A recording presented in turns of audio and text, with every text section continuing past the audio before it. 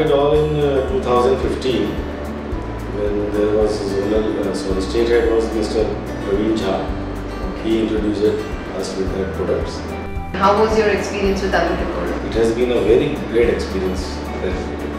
What do you find uh, different uh, about Aludecor products?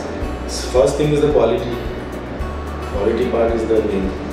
Quality and services are the two parts that we rely on our working that we get from the You've been taken through uh, throughout our manufacturing facilities and everything. So how did you find it? What was The two things that were astonishing was the 3D part and the fire rated part. That will give us more confidence to sell our product.